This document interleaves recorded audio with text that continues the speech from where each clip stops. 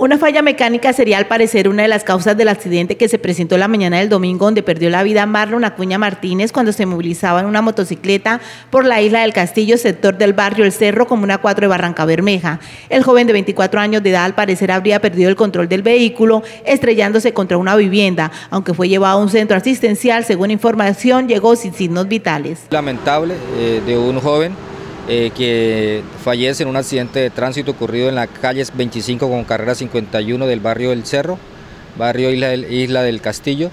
Eh, el conductor de la motocicleta de placas FDJ99A, el joven Marlon Andrés Acuña, de 24 años, quien eh, choca contra un inmueble debido a, las lesiones, pues llega sin signos vitales al centro asistencial. La hipótesis que se maneja hasta el momento es una posible falla mecánica eh, en el entendido que el, joven como que pierde el control eh, eh, y se va contra el inmueble. Marlon Acuña Martínez, quien conducía la motocicleta, se movilizaba junto con Estefan y Juliet Cardona, quien también fue llevada a un centro asistencial, pero sufrió heridas leves y fue dada de alta.